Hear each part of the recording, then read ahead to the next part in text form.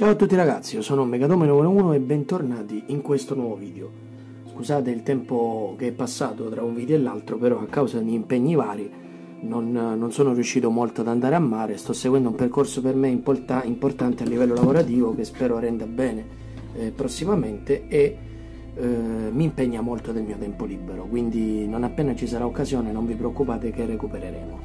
Intanto almeno qui in Sicilia, poi non so nelle altre regioni, fatemi sapere, ma si sta assistendo ad un innalzamento della temperatura pauroso.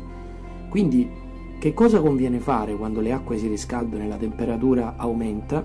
Beh ragazzi, è il momento di prendere un po' di scaviva e sondare il fondo alla ricerca di mh, mm, pettine surice, saraghi, sugherelli, lecce stella, occhiate, tutto quello che ci può capitare triglie, mormore, qualunque cosa. Oggi vi mostrerò una montatura da bottom rig, quindi un bottom rig, una piccola montatura da utilizzare per la pesca a fondo, con terminali sottili e canne divertenti, ma volendo si può usare anche con la lenza a mano, che non ho avuto modo di mostrarvi eh, fino adesso, e è una montatura di una semplicità unica, ho eh, scelto i materiali per costruirla in formato XXL, quindi extra large, proprio per, far, per dare una visibilità video diversa. Ahimè non ho trovato del filo colorato, ma questo qui è abbastanza grosso e quindi si dovrebbe vedere lo stesso.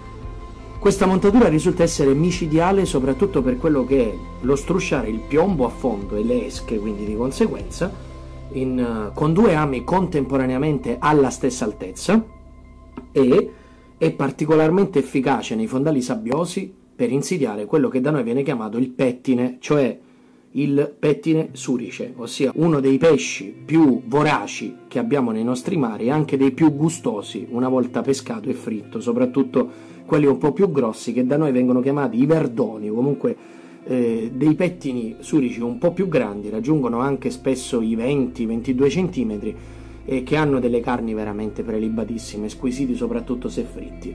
È un pesce prevalentemente estivo, ma si può trovare già col cominciare della primavera, inizio estate, poiché appunto con l'aumento della temperatura dell'acqua, questi pesci che prima hanno passato le stagioni più fredde insabbiati, adesso iniziano ad uscire un pelino dalla sabbia e a notare immediatamente l'esca che secondo me fa da padrone a questa pesca, che è il coreano, rosso, normale, quello che sia, cambia poco, ma sicuramente l'esca fondamentale è il coreano, ma sono talmente voraci che mangiano di tutto. Mangiano dei pezzetti di carne rossa, scongelata o fresca meglio ancora, li potete prendere anche con il bigattino, però ragazzi credetemi, è una pesca che faccio da quando avevo praticamente 6 anni, i primi pesci che ho preso sono proprio i pettini surici e amano gli ami messi più vicino possibile al fondo e con un pezzettino anche solo piccolo, impercettibile di coreano sentirete delle toccate pazzesche per dei pesci così piccoli. Vi, mi, mi, sicuramente li avrete già catturati ma per chi non li ha presi o non li prende di frequente rimarrà meravigliato da come pesci così piccoli riescano ad essere allo stesso tempo così voraci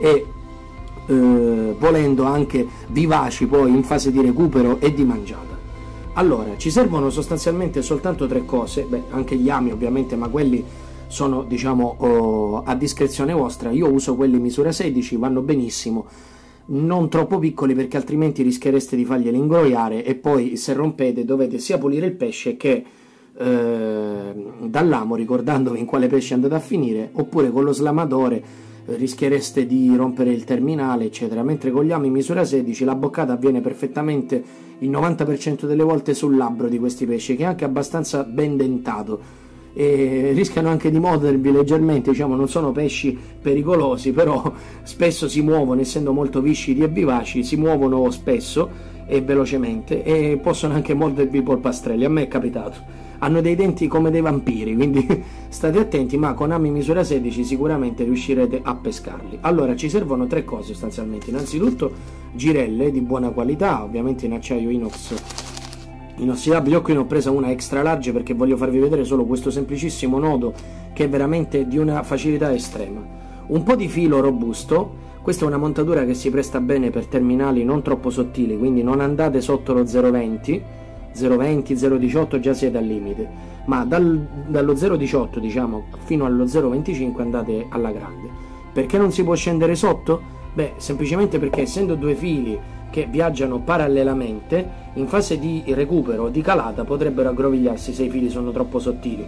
Inoltre con, eh, con questa montatura mi è capitato anche di avere a che fare con i pesci balestra e, vi assicuro che se prendete quelli avere un carico di rottura un filo leggermente più robusto vi farà dire meno male che avevo il filo più grosso perché vi farà concludere il recupero. Con un filo dello 012-014 è un po' dura e, e aumentereste il rischio di, di possibili ingarbugliamenti. Quindi fate in modo sempre di avere eh, fili che vanno appunto dallo 0,18 allo 0,20.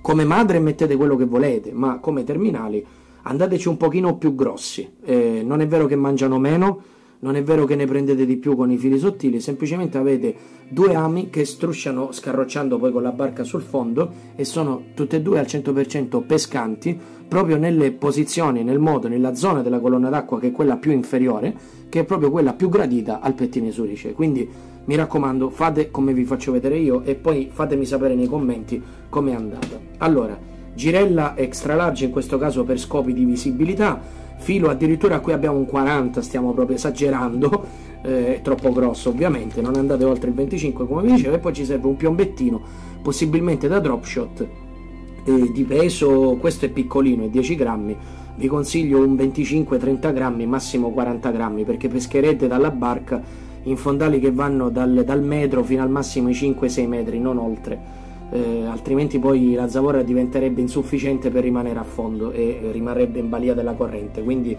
filo eh, terminale dallo 0,18 allo 0,25, girelle buone, ovviamente molto più piccole di questa, e piombettini possibilmente da drop shot, quindi con anellino o quelli direttamente con l'anellino in piombo che fa parte del piombo stesso, oppure questi qui proprio classici da drop shot.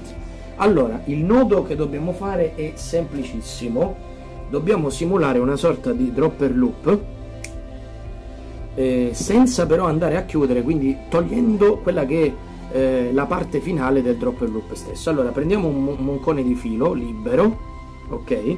Per il momento lasciamo tutto fuori sia piombo che girella tutto, tutto quanto fuori. Tra l'altro ora sul piombo c'è anche un'altra cosa che potremmo aggiungere volendo altre due anzi. Allora la prima cosa che dobbiamo fare è fare una asola quindi una E così spero si veda perché purtroppo il filo colorato non l'ho più potuto trovare, ecco, qui si vede bene.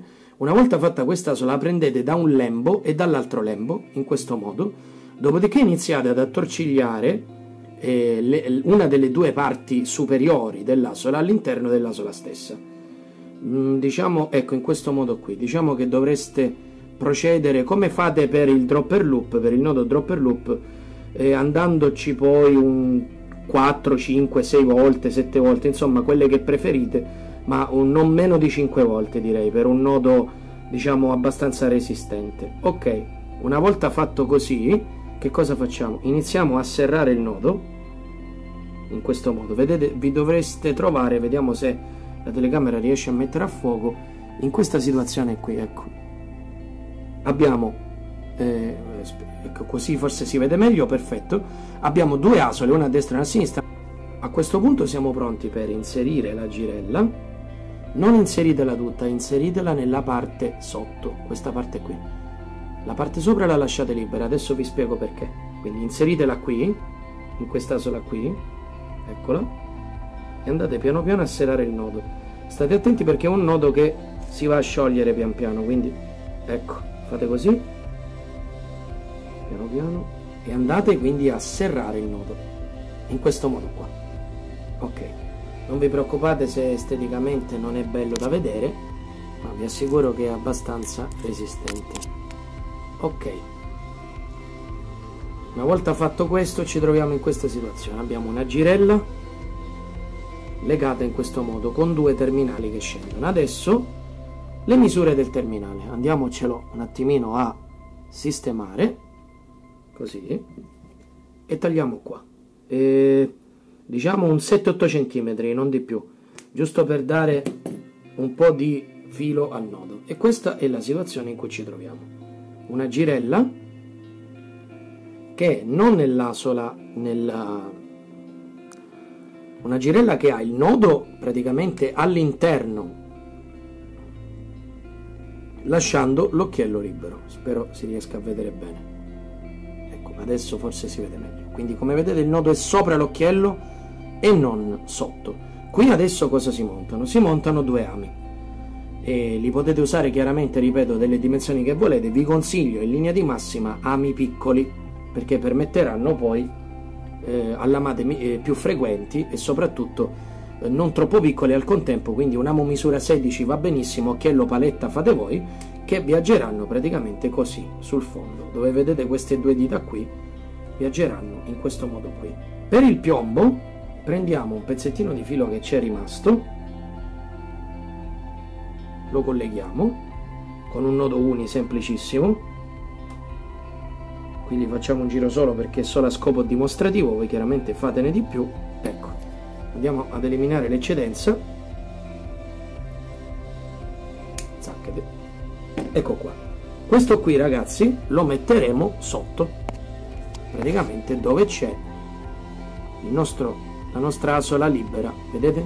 Qui ci sono i due terminali. Lo andiamo a inserire in questo occhiello qui. Facciamo anche qui un piccolo nodo uni. Qui addirittura vi stavo dicendo la chicca di poco fa è o mettete il piombo oppure potete mettere anche un eggi ragazzi. L'importante è che sia di quelli da barca che sono sempre molto pesanti. Quindi sempre sui 30-40 grammi, non i classici eggi da 15-19 grammi perché non bastano. Questa è la montatura completa. Abbiamo questi due terminali, la girella che è nella parte di sopra verrà collegata alla lenza madre.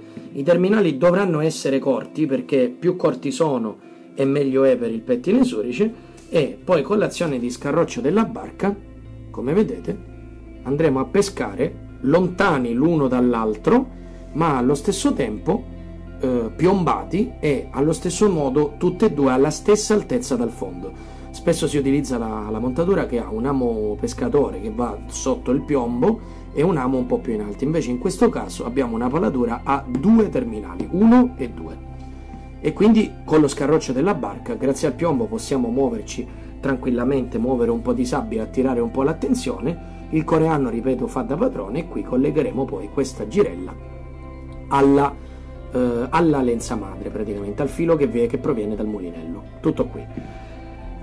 Per il discorso piombo, se peschiamo in fondali rocciosi o vogliamo utilizzare questa montatura al light rock fishing, nessuno ce lo vieta ovviamente di pescare in questo modo al light rock, ma in questo caso la parte non dei terminali, che deve essere, ripeto, sempre un po' più grossina come diametro, ma la parte del piombetto la possiamo fare, eh, questo piccolo moncone che collega il piombo alla nostra girella, non eh, di questa volta direttamente nell'anello, la possiamo fare di un terminale molto più sottile come uno 0,14, uno 0,12, in modo tale che se si dovesse incagliare il piombo andiamo a perdere il piombo, ma recuperiamo l'intero apparato pescante e quindi eventuali anche pesci che sono allamati ma che non sono in tana, quindi possiamo anche perdere il piombo, fare un sistema eh, con il piombo a perdere o comunque con un sassolino, con un pezzetto eh, di metallo, insomma qualunque cosa, eh, possiamo fare un sistema a perdere semplicemente di, eh, facendo nodi meno resistenti al piombo e diminuendo il carico di rottura del filo, quindi diminuendo di conseguenza anche il diametro del filo.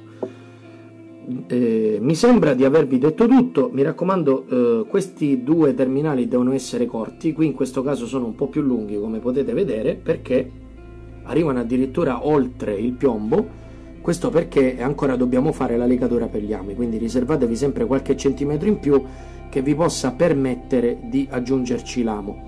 Una volta aggiunti gli ami, eh, l'ideale sarebbe se i due ami arrivino più o meno a questa altezza dal piombo, quindi a questa altezza qui se si posizionano a 2 cm, massimo 3 cm dal piombo, state pescando bene e come vedete il sistema è sempre, vedete?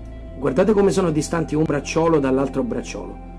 Non si aggroviglierà, né in calata, in calata gli ami andranno verso l'alto, eh, mentre che caleva. Poi quando recuperiamo andranno verso il basso, ma essendo sopra rispetto al piombo non andranno a ingarbugliarsi col piombo. E spesso e volentieri ragazzi vi dirò proprio come dato di fatto che eh, pescando con la maniera classica, quindi un amo sotto e uno sopra, è più probabile che prendiate un pesce alla volta. Ma quando andate in una zona buona, piena di, soprattutto di, di, di questi pesci, dei pettini surice, li troverete molto facilmente e sarà molto più probabile avere due abboccate in una volta anziché la classica sola. Quindi la classica boccata singola. Quindi se volete fare un discreto numero per una frittata, sempre rispettando ovviamente eh, le norme massime riguardanti il peso di pesce prelevato, potete facilmente o velocemente procurarvi anche un po' di escaviva, per carità, eh, farvi qualche pesce in maniera più veloce, più funzionale e soprattutto molto molto semplice.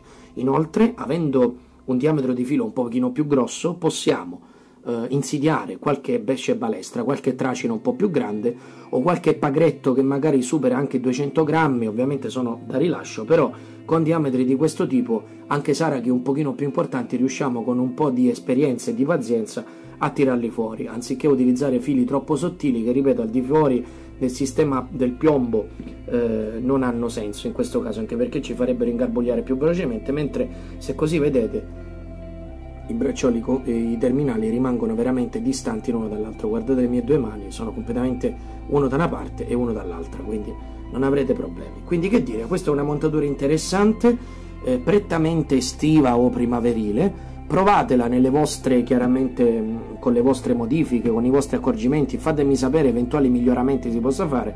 Io con mio padre la usiamo da una vita, onestamente non la cambieremo, però se, è sempre bello confrontarsi e migliorare perché si può sempre personalizzare tutto nella pesca. E che dire, recupereremo presto con eh, delle pescate dal vivo in cui la proveremo proprio, la proverò anche insieme a voi e ci vediamo alla prossima. Ciao ciao!